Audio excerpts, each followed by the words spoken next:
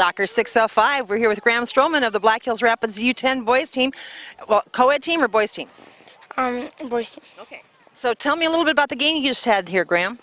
Well, we played some Spearfish girls, and we won. I think it was six to four, and we didn't have a sub, so it was pretty tiring. So you got plenty of plenty of play.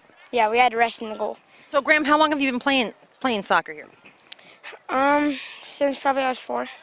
And what made you decide to play? Um, just my sister, And uh, do you want to tell everybody who your sister is? Morgan Meyer Coates. Ah, she's a pretty special player, isn't she? Yeah. So did you play against her? Um, we do in the yard. You do in the yard. Um, are you able to make her at all? Um, kind of. She's kind of good. She's kind of hard to get around, isn't she? Yeah. Well, you'll have to be sure and tell her hi for me, will you? Yeah. Okay, so tell me a little bit more about about um, your soccer experience. So what you said you play a lot of positions, right? Mm-hmm. What's your favorite position? Striker. Not goalie. Nope. And did you get any goals today? Yep, I got a long one from almost half. I think I saw that one. I was wondering if that was you. That was a nice goal, wasn't it? Yeah. What's your favorite part about playing the game? Just scoring goals. Scoring goals. Do you think there's some things that you learn playing soccer that will help you when you get to be an adult, Yeah. Other than just scoring goals? What are some of those things you think you might learn?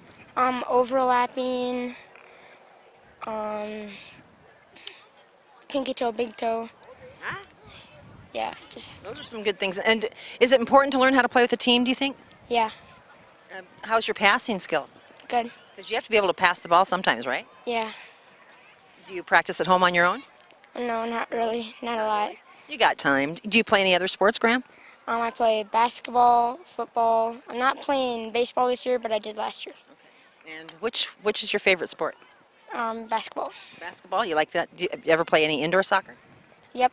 Is it kind of like basketball, the soccer ball? No. No, you think it's completely different? Yeah. Well, congratulations on that nice win today. Best luck the rest of the weekend. Maybe we'll see you at Rushmore Cup next weekend. Okay. Thank you. Thanks, Graham.